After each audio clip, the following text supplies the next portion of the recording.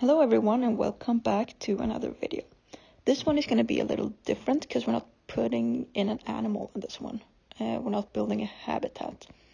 Instead we're gonna, you know, I had this area of, you know, just grass that was kind of like, you know, in between. It's gonna kind of be in between um, the temperate part and I think the African part. I haven't really decided what's going next.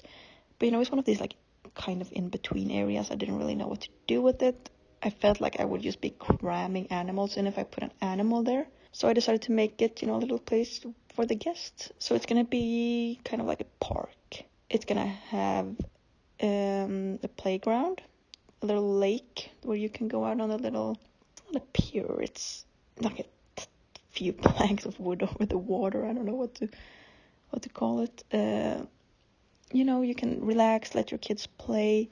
I'm gonna have two of these new um, like food counters, I guess they're called. Uh, one for some, you know, sweets and one for like slushes and ice cream.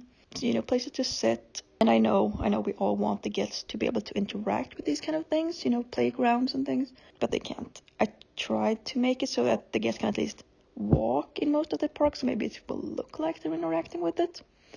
Uh, obviously, they will be able to interact with the food and the benches and things but yeah, I tried to make it so that the guests will actually like walk in the park and it will look like they're using it. Uh, the playground was actually really fun to make. Uh, I really had to use my creativity there to make you know make it work. And I am building a play structure, like a climbing with slides and everything. However, it turns out I did not record that.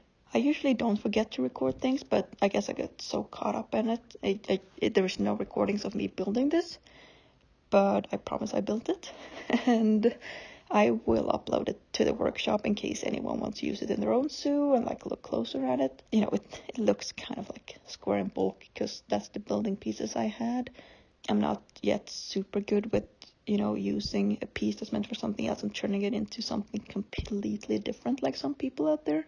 But I, I think it looks okay. Like in the end, it looks like a play structure. It just it could probably look better. But yeah, I'm very happy with that. I made some like other little play things, like a little obstacle course and swing set and things. And you know, you're gonna see me put down some like black-ish uh, flooring under the playground, and that's supposed to be I don't know if you know, but some playgrounds have these like almost rubbery uh, flooring under it.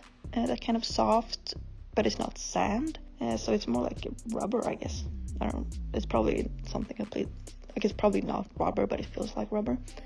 And that's what that's supposed to be. It's not supposed to be like asphalt or uh, concrete or anything, in case you're wondering. But yeah, I will put the play structure and the little, you know, shop shells that I made for these counter shops uh, in the workshop and link them down below in case you want to use them. But yeah, I'm actually really happy with how this turned out, and it's and I really like that the bison habitat that we made in the last episode is a little bit elevated, because if you like go down to the guest level in the park, you know, you know, angle the camera so at the level where the guests would be, you kind of see the buffaloes and things because they're you know up they're you know above you a little, so you can see them from the park and I think it just turned out pretty good. Uh, I think we only have like one or two more habitats to make in the temperate part, part, and then we'll be moving on. I don't know what to next. I think Africa, but it's not decided at all. Um, so stay tuned. I hope you enjoy this video and thank you so much for watching.